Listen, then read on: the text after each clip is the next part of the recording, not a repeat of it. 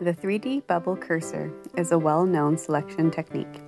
Users control a semi-transparent bubble by mapping the hand's position to the bubble's position.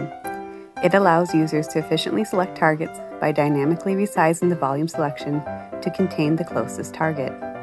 But the technique is sensitive to nearby distractors, and it can be quite frustrating in dense environments since even small movements can create incessant disturbing effect with the technique constantly snapping to nearby targets.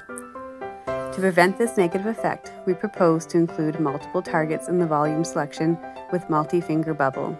Targets are associated with a specific finger, and users can select the desired target by flexing the corresponding finger. We experimentally explored options of multi-finger bubble. We use a Vive Pro system with a marker attached to Manus Prime 2 haptic gloves to track hand and finger movements. We explore two visualizations to reveal the mapping between targets and fingers to users, colored lines and colored icons. Colored lines start from the fingertips and end on the targets, and colored icons are positioned above the corresponding targets and display a hand image with a corresponding finger filled with a corresponding color. We consider two finger target mapping options, following the finger's direction or stable. With the finger mapping option, colors are assigned according to the horizontal ordering of targets to coincide with the finger's ordering, from index to pinky, with this right-handed user.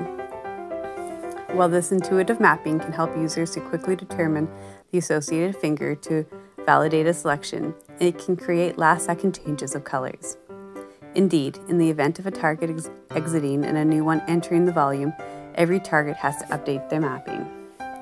We hence explore another option with the opposite properties, without clear mapping rationale, but reducing the risks of last second color changes.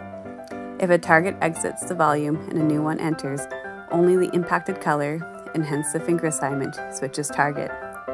Finally, we explore how many targets should be included in the volume selection, so how many fingers should be involved with multi-finger bubble.